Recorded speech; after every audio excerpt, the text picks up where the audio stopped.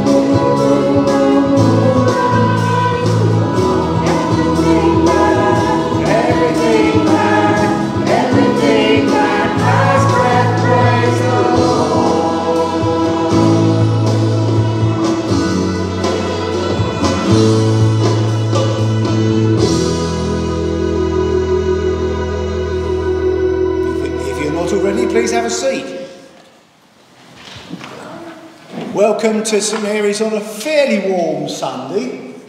Firstly, I'm going to start with an apology to all those that were trying to listen to us last week, especially Michael in Kenya, who um, was getting very worried because he kept saying, Where is church? Where is church? um, something went wrong. We had a Facebook problem last week, just didn't, didn't post at all. So um, that was. But I've just checked. We are live this morning. So behave yourself, Trudy. Morning, Jessie. Yeah, we've got a message for Jesse, but um, we, won't, we won't repeat it. That's really good to have you here on this slightly warm, warm Sunday. Um, also this morning, as you will have noticed, we have nobody sitting playing the keyboard.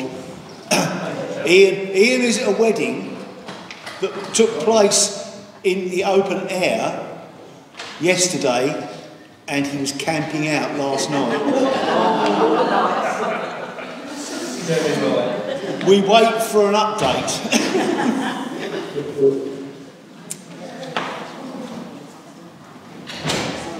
the Lord be with you. And also with you. Let's stand and worship the Lord, singing, Praise God, from whom all blessings flow.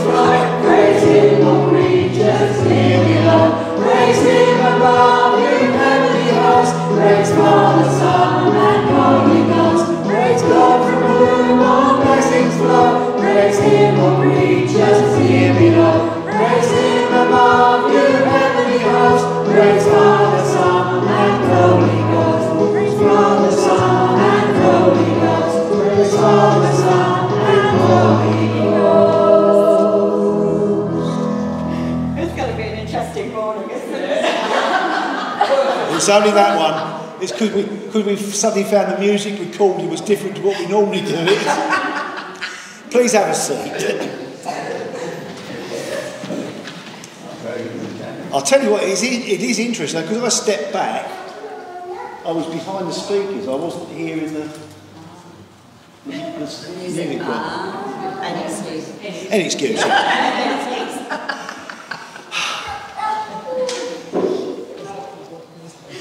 Soft summer rain falling on parched earth. Waters of God flow down upon us. Torrential floods ripping lives into pieces. Waters of God have mercy upon us. Soaking waters which nourish the seed. Waters of God replenish us. O Holy Spirit, giver of light and life, impart to us thoughts higher than our own thoughts, and prayers better than our own prayers, and powers beyond our own powers, that we may spend and be spent in ways of love and goodness, after the perfect image of our Lord and Saviour Jesus Christ. Amen.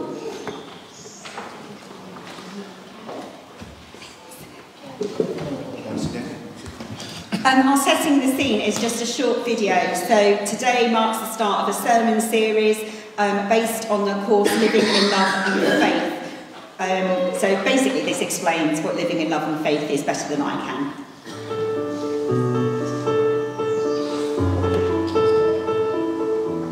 I do expect people to respect me, but I don't expect people to know what to do with me. Some people might never have met a trans person before. Marriage as me just a deep sense of commitment. Being a Christian and being gay, I found a brilliant church. I don't have to hide anything about myself. Living in Love and Faith is a landmark project which the Church of England has worked on for three years. It's a way of enabling us to think together about identity, relationships, marriage, sexuality, things that define the way our lives will be led. Living in Love and Faith is a library of resources.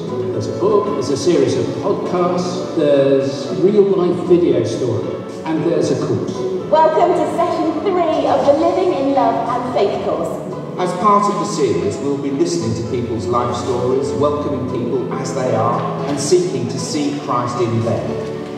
Being Christians, we've got to view marriage as just as important for marriage and family. I was born with intersex traits. I would love to feel that I can be me along with everybody else. My hope is that people will be open and courageous. Living in love and faith involves the whole church, and we encourage you to take part too. Living in love and faith doesn't impose its views. It listens to different theological and biblical views and enables us to explore what God's will is for the church and to learn to live with each other. You would loved for someone to treat you as they treat other people. God has still provided, it just wasn't the way that I expected. My deepest prayer is that in living together in love and faith, we demonstrate the same love for one another as we have received from God Himself.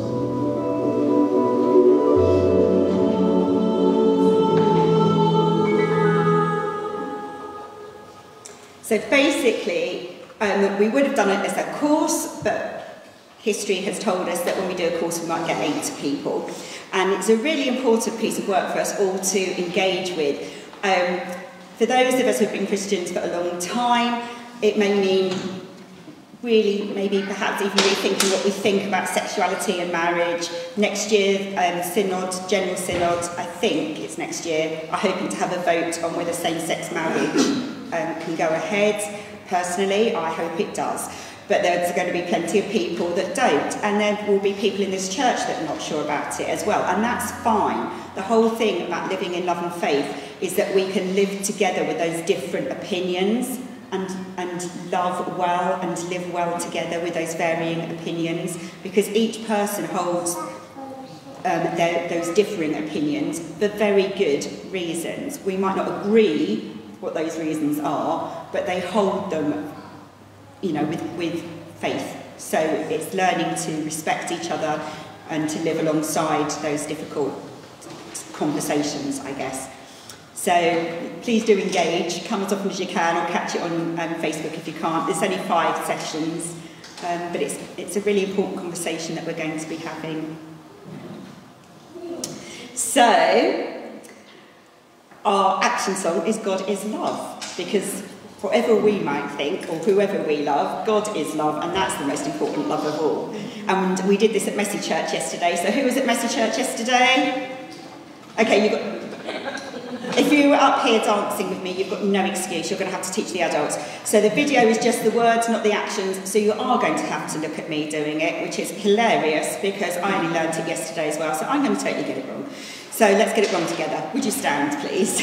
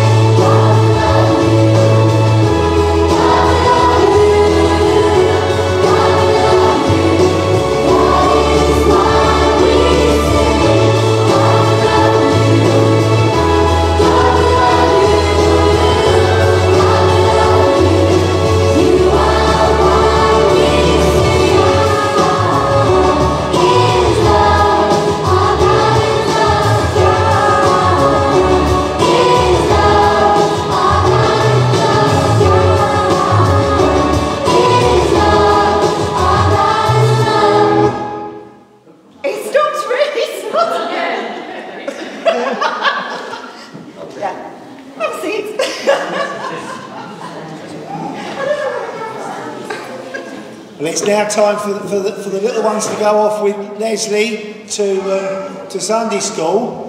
Um, I think they're going to the beach today. They're going to the beach. So, as they go to the beach, let's, let's pray for them. Lord, we pray for our youngsters as they come to learn about you and to meet you. We pray for Leslie and Elaine as they lead them this morning. And Lord, we just pray they have a really good time at the beach. Amen.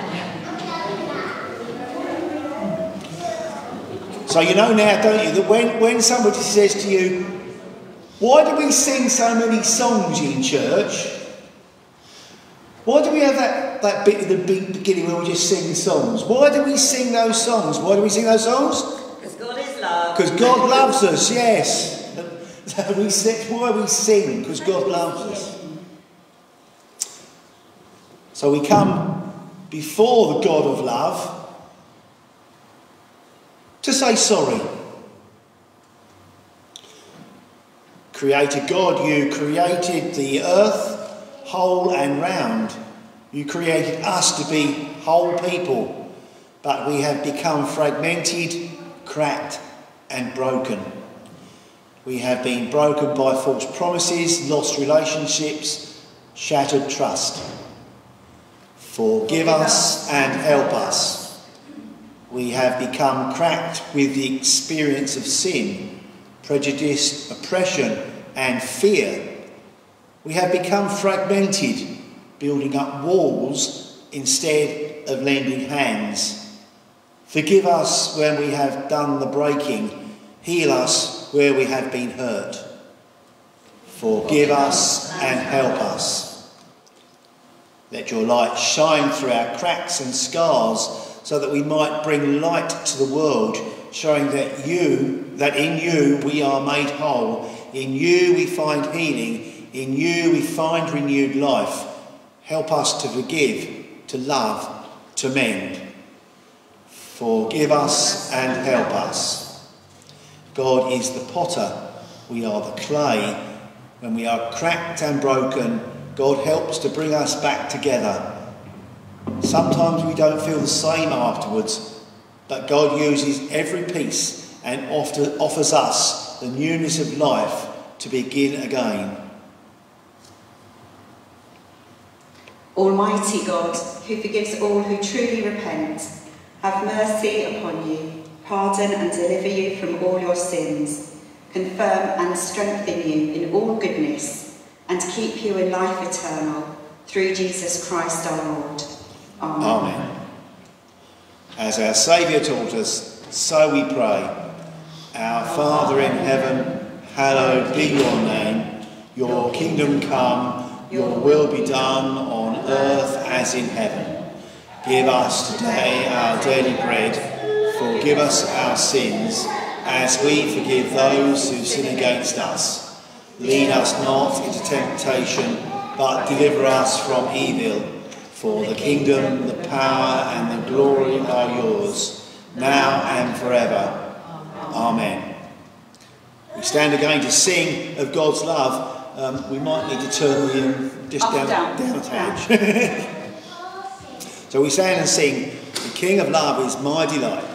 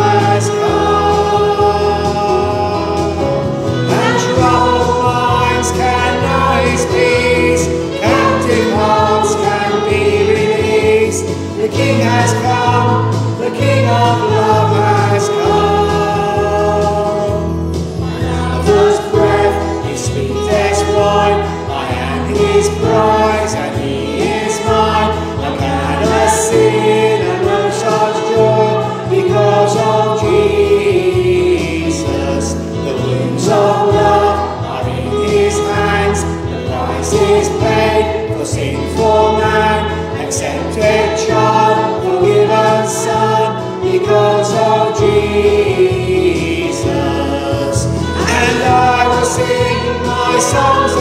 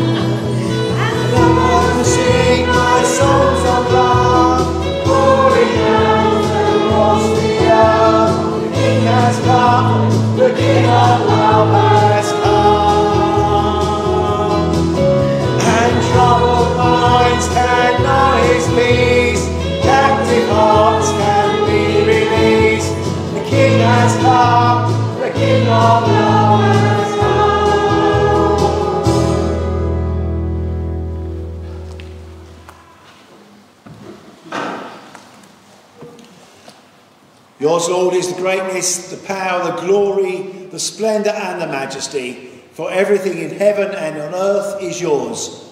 All things come from you, and of your own do we give you. You please sit for the first reading.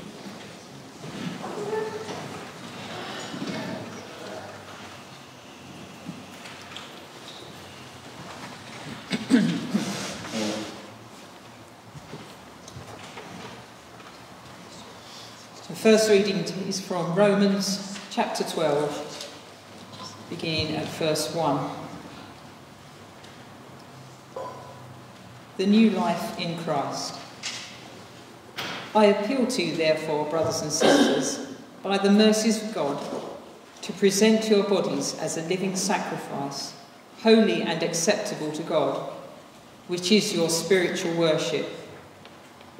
Do not be conformed to this world, but be transformed by the renewing of your minds, so that you may discern what is the will of God, what is good and acceptable and perfect.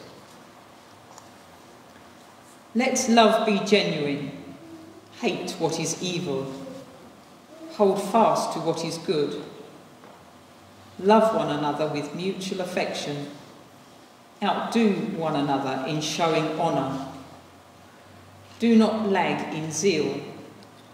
Be ardent in the Spirit. Serve the Lord. Rejoice in hope. Be patient in suffering. Persevere in prayer. Contribute to the needs of the saints. Extend hospitality to strangers. Bless those who persecute you. Bless and do not curse them. Rejoice with those who rejoice. Weep with those who weep. Live in harmony with one another. Do not be haughty, but associate with the lowly. Do not be claim to be wiser than you are. Do not repay ev anyone evil for evil. but take thought for what is noble in the sight of all. If it is possible, so far as it depends on you, live peaceably with all. Beloved, never avenge yourselves, but leave room for the wrath of God. For it is written, Vengeance is mine, I will repay, says the Lord. For the word of the Lord.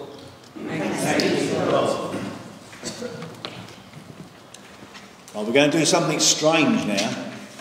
We're going to use a psalm. Now, I did have a brainwave, but um, decided I wasn't brave enough. I was going to give everybody a number, or a letter when they came in, an A or a B. It's easy to go A, B. Yeah, that's So everybody on this side is A with me, and everybody on that side is B with Trudy. Go team Trudy. And we're going to, going to go through and use Psalm 143. So shall we, shall we stand this? Because we get a bit of feeling into it. Stand up. Don't we? I don't want you to feel too relaxed. Right. Listen, Lord, as I pray. You are faithful and honest and will answer my prayer. I am your servant. Don't try me in your cause, because no one is innocent by your. My enemies are chasing me, crushing me in the ground. I am in total darkness, like someone long dead. I have given up hope, and I feel numb all over. I remember to think about the many things you did in years gone by. Then I lift my hands in prayer, because my soul is a desert, thirsty for water from you. Please hurry, Lord, and answer my prayer. I feel hopeless. Don't turn away and leave me here to die. Each morning, let me learn more about your love, because I trust you. I come to you in prayer, asking for your guidance. Glory to the Father, and to the Son, and to the Holy Spirit, as it was in the beginning, is now, and shall be forever. Amen. Please sit. Is anybody expecting to do this reading? Yeah, Sue Glover. She's not here. Our second reading comes from Matthew 7, verses 24 to 29. Everyone then who hears these words of mine and acts on them will be like a wise man who built his house on rock. The rain fell, the floods came, and the winds blew and beat on that house, but it did not fall, because it had been founded on rock. And everyone who hears these words of mine and does not act on them will be like a foolish man who built his house on sand. The rain fell, and the floods came, and the winds blew and beat against that house, and it fell, and great was its fall. Now, when Jesus had finished saying these things, the crowds were astonished at his teaching, for he taught them as one having authority, not as their scribes. For the word of the Lord, thanks be to God. It's time to encounter God, to come and, and sing. And why do we sing? Because God loves us. So we stand and we sing, hopefully getting it all right as we go along, starting with There is None Like You. And I warn you this one, Ian's playing something that doesn't quite sound like what we're singing. Okay. Let's There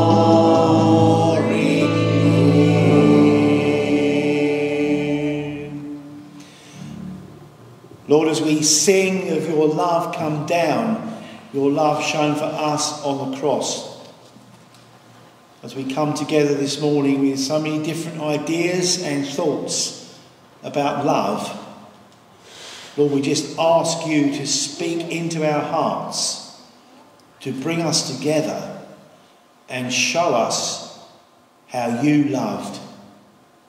And we pray for Trudy now as she comes and brings your word to us. Amen.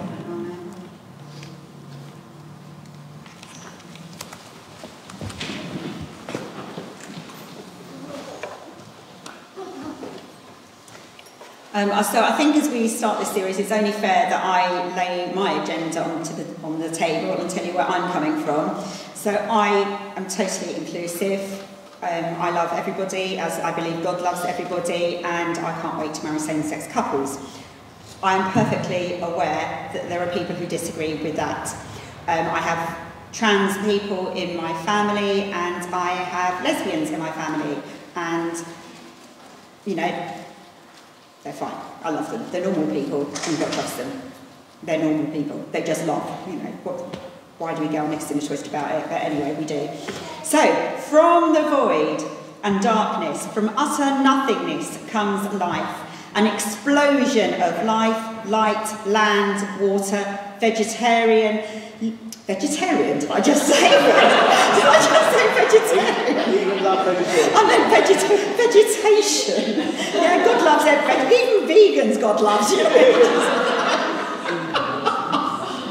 God, people just. Okay. Land, water, and vegetation. Living creatures. How can I take this seriously now? I've said that. Living creatures of every kind, all of them created by God. Among them is humankind, male and female, made in God's image and likeness to be faithful and fruitful.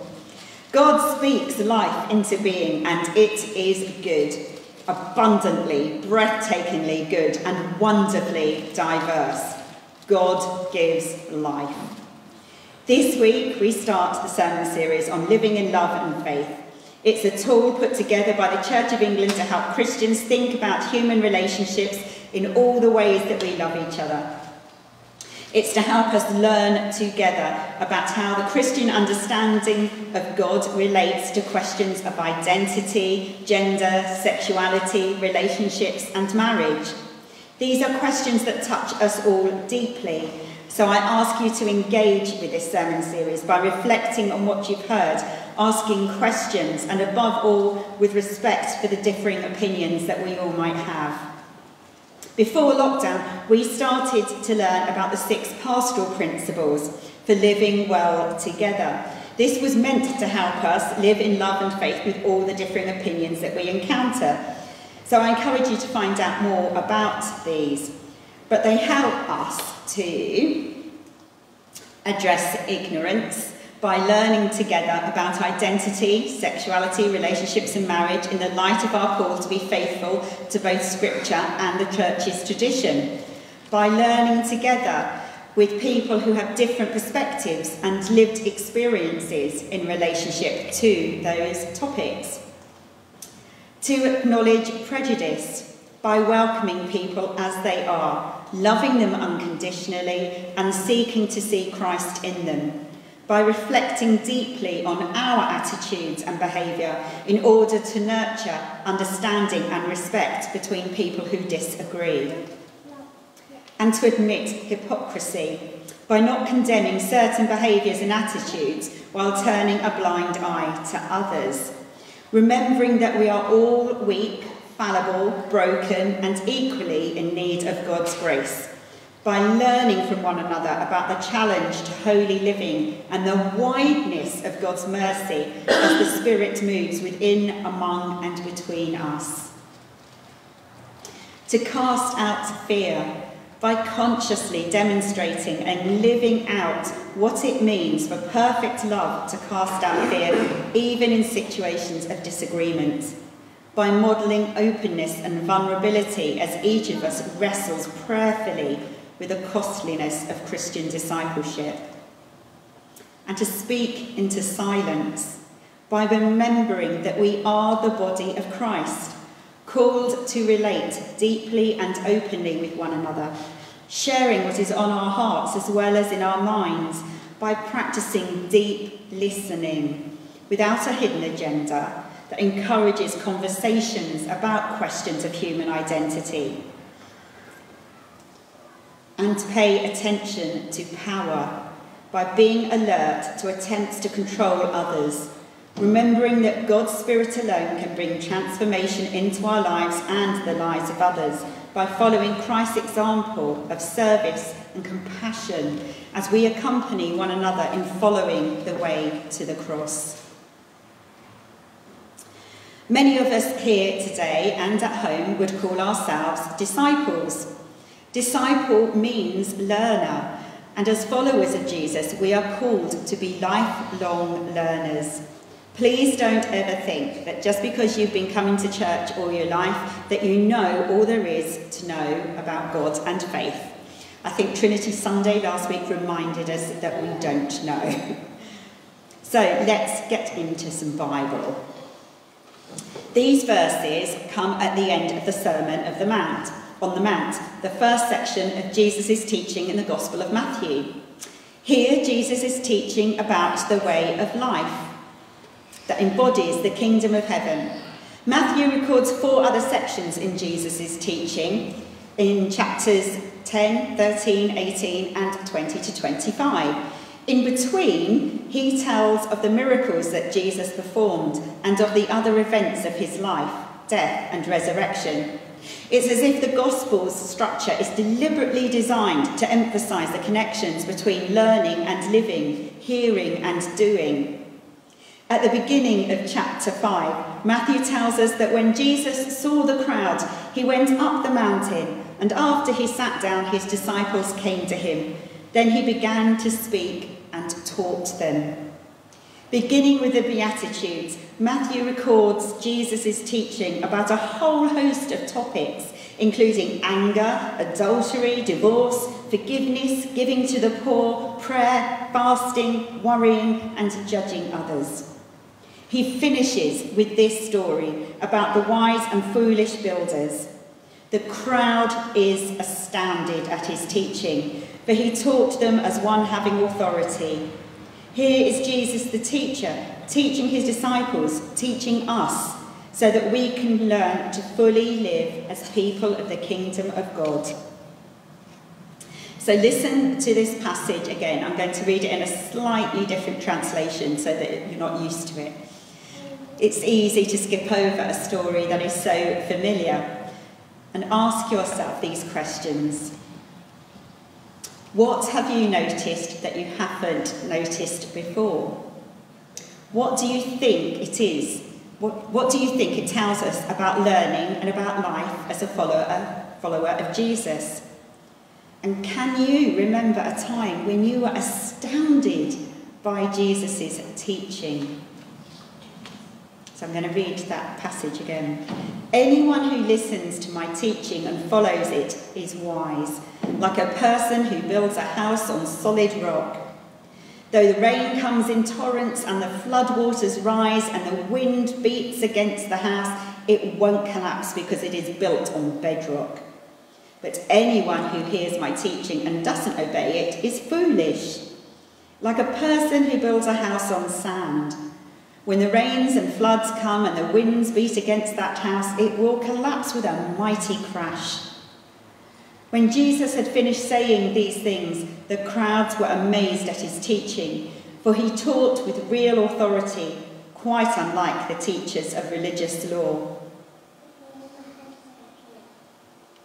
Just going to give you a moment to ponder those questions.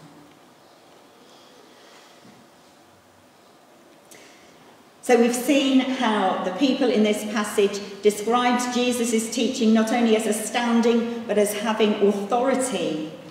When we set out, when we set out to learn about something, we want to be sure that the person who is teaching us really knows what they are talking about. We want them to be people who are trustworthy, people we can rely on to tell us the truth. For followers of Jesus, that true teaching is found first and foremost in the Bible. We believe that the Bible gives us the most truthful account of who God is and who we are. It sets the story of Jesus within the story of God, who reached out in love, creating, sorry, on wrong page, creating the world and all of us in it. It tells how humankind turned and continues to turn away from God's love and how the whole world is affected by our turning away, our sin. It's like I've said, I've, I've said this before. It's like this whole book is like God going, "I love you, I'm here," and the people going, "Oh, we love you too, God," and God's going, "Yeah, give us a couple, you know, come into my embrace," and then the people go, "Oh yeah, but I want to do that thing over there."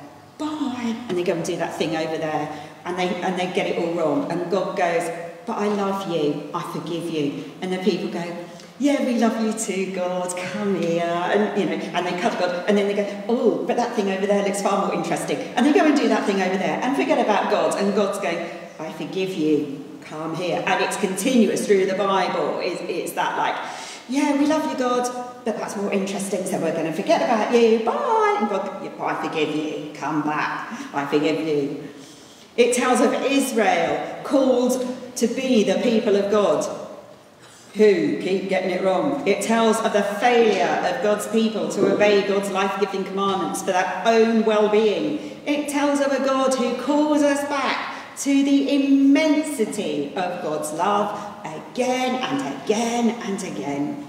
It tells how God, seeing that we couldn't help ourselves, came among us as Jesus Christ and proclaimed the good news of the kingdom of God it tells of Jesus' arrest, torture, and execution, suffering the condemnation that should be ours. And it tells of Jesus raised by God from the dead, now gloriously alive and still with us by the Holy Spirit, making everything new. It tells us of the certain hope that one day this transformation will be complete and that Christ will return. The Bible is central to the life of the church. But how do its many kinds of writing, the poetry, laws, history, letters, relate to our questions about identity, sexuality, relationships, and marriage? How do we discern the wisdom of God, especially when it often seems as foolishness in the world? How do our questions relate to questions that the Bible addresses in different languages and cultures from our own? Answering these questions involves listening carefully to one another, to other Christians who have passed the faith on to us, and to people who have given their lives to studying the Bible. We will find that Christians understand the same text in different ways and that will raise questions about how the Bible is interpreted. We will explore these issues further in the sermon series as we go along. There are two other things to think about as we prepare to learn together. As Christians, the Bible is our source of, te- of Jesus' teaching. Like many other parts of the Bible, that teaching is rooted in its own time and place. It might come as a surprise to some. Jesus wasn't a Christian. Jesus was a Jew at a specific time in the particular political, social, cultural context of the Middle East in the first century. So when we come to his teachings, we bring in our 21st century baggage and look at it no wonder it doesn't always make sense straight away. We need to work it out. Because of who Jesus is, how he lived, and what he taught, we believe his teaching relates to all times and places and still has authority for us today. So we need to understand both Jesus' context and our own to grasp what he is asking of us. We will need each other's help to think about these things. And finally, we learn by listening to the real life stories of those people we heard at the beginning, of followers of Jesus today, telling us how they have understood his call upon their lives. We all have our own stories to share, And each of us will relate to the questions we're exploring in some way. We will have family members or friends that are exploring these questions. All these stories remind us that we are exploring questions that have real consequences for ourselves, for our families, our friends, for everyone. This is really important stuff. Let's pray. Lord Jesus, write the story of your grace and truth into the lives of your people, that believing in you, the world may have life in your name and in all its fullness as you have promised us. Amen.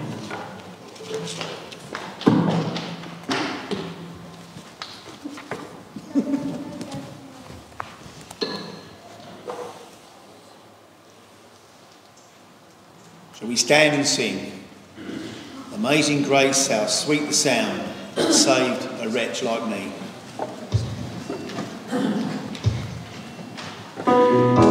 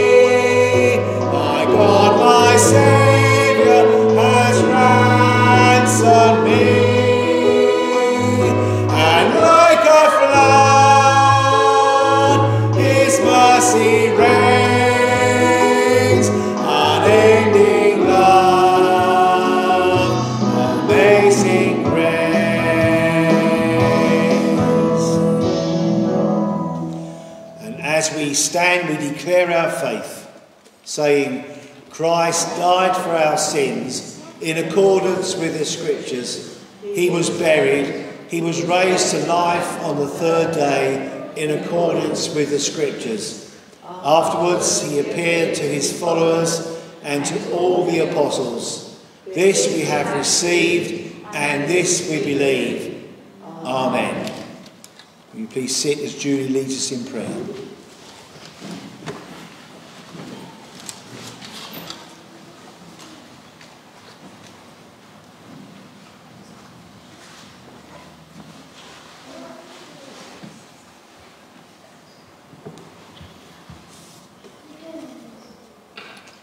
Lord God, Heavenly Father, you are our Creator, the centre and source of all that is good, true, worthy and wholesome. You, Lord, are the source of hope, peace, joy, fulfilment and satisfaction. We praise you, our living, loving God, that you are not remote from us, but in Christ you had your glory, hid your glory, and you walked in the dust of our world. You came as the servant king to bring healing, hope, and a new beginning to all who put their trust in him. Lord, we worship you and we give you praise for the way you have surrounded our lives with your love and touched our hearts with your grace. We praise you for the way you speak to us through your word and for the way you listen to our prayers. We come to you now, Lord, to pray for your church and the world. Lord, in your mercy, hear our prayer. We pray, Lord, for the people of Ukraine who are being forced out of their country due to the war. We ask you to be with them as they settle into new countries and to new homes. We pray for those left behind who are unable to leave. We pray for those who are grieving for their loved ones. We pray for peace and an end to that war and all wars and conflicts in our world. Lord, in your mercy, hear our prayer. We pray, Lord, for the church throughout the world. We pray for the church leaders, bishops, clergy, and lay ministers who bring God's word to our congregations. Help us all to show the love of God through the way we live our lives daily, at school, work, and at home. Lord, in your mercy, hear our prayer. We pray, Lord, for the sick in body, mind, or spirit. We ask you to, for your healing touch upon their lives. We pray for those on our WhatsApp prayers, the pew sheet. We pray for Granny Ann, Brenda, Kitty, Hannah, Jean and Brian, Julie Amos, Christine, Ted and Sandra, Maria and John, Natalia, Sylvia, Sean, Liam, Trish, Mary and Alan, Nicola, Dawn, and in a moment of silence, those known to us personally.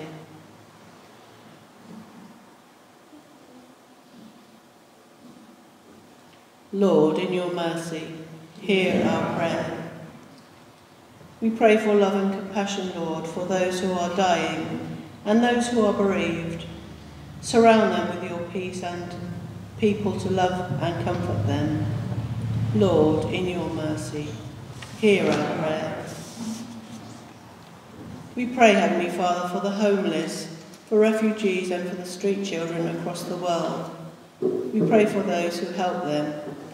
We thank you for the Lugisisa in, in Dela village project in South Africa and the Footsteps project in Kenya. We ask your blessing on those who work and support them and those who live there.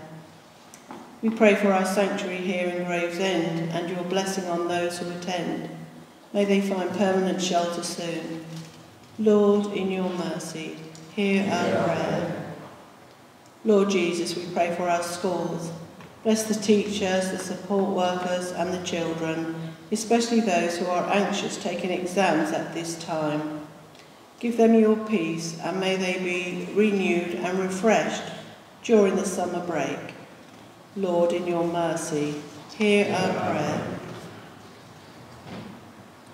We pray, Lord, for your Holy Spirit to govern the hearts of the world leaders and governments, that they might do what is best for the people of their countries and work towards peace and reconciliation where it is needed. Lord, in your mercy, hear our prayer. Lord, you call us to love one another as you have loved us. Fill us anew with your Holy Spirit to demonstrate your love in all we say and do and are. Heavenly Father, accept these prayers for the sake of your Son, our Saviour Jesus Christ. Amen.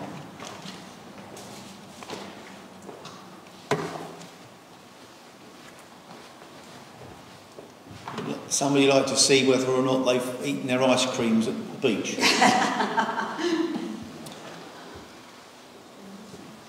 I'll tell you what I could do. I could nip on to the next one, really, couldn't I? And do while, we wait. Notices. Um,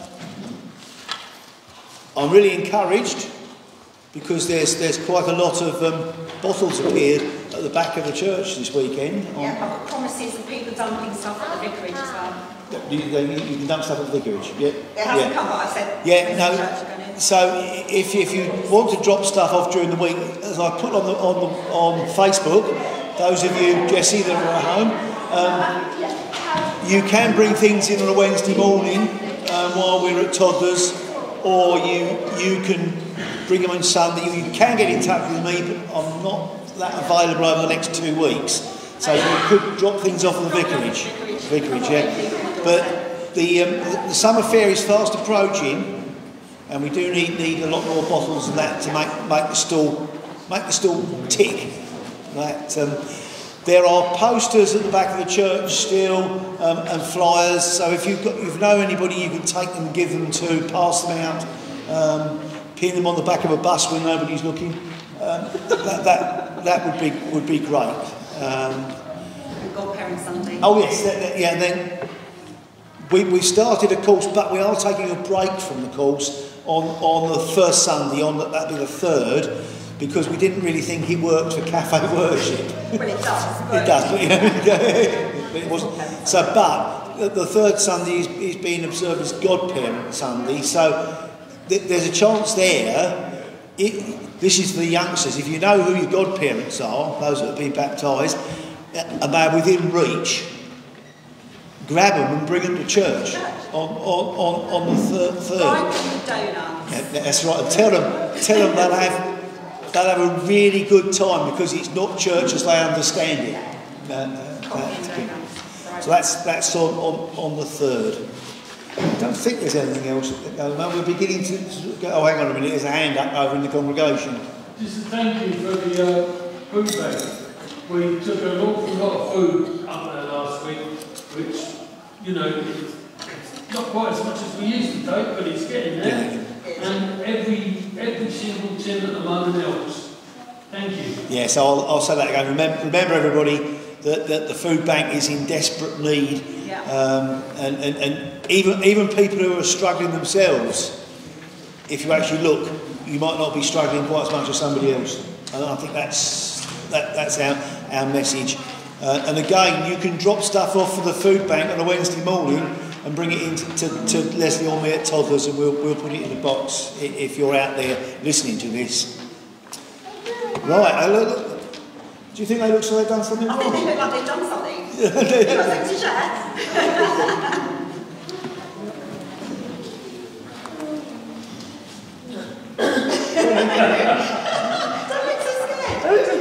Who's, who's, who's the first spokesperson? Right, turn around so they can see your lovely faces. Hang What it was, Vic, is talk about building that house on, on rock, on sand. Big- big voice. side, that's what it is. How can we wise guys from Jesus? this one. By reading that, isn't it? Yeah. By reading the Bible. By building our life on Jesus. By listening to your parents. By following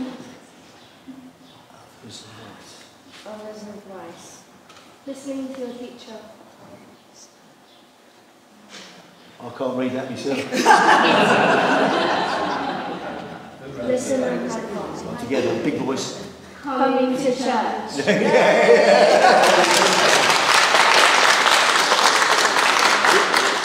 Did you enjoy it at the beach? Yes. Yes. I think we ran out of sand. No. Oh. No ice cream. I, I told them to come down and see whether you'd finished eating your ice creams. if I'd have known, there's some in the, free, in the freezer.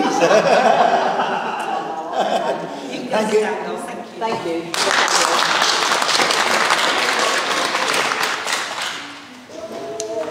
Thank you. We stand and sing again, and why do we sing? Because God, God loves us. us. My hope is built on nothing less than Jesus' blood and righteousness.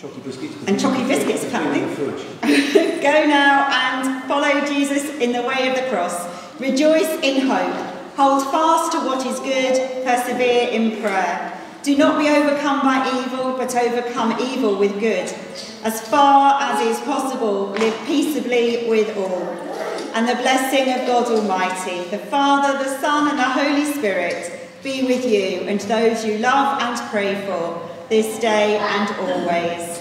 Amen. Go in peace to love and serve the Lord. In the name of Christ. Amen.